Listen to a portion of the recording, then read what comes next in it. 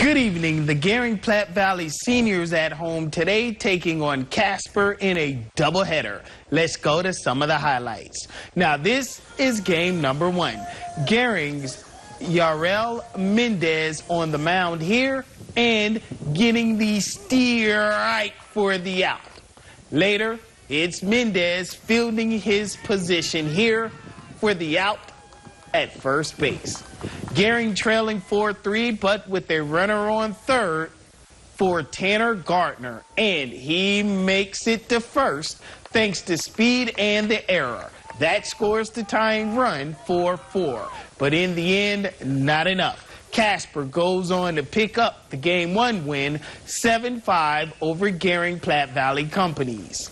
Now, meanwhile, in game number two, it was Gering defeating Casper 3-2 as the game was shortened due to the weather, but it was an official contest because they made it to the fifth inning.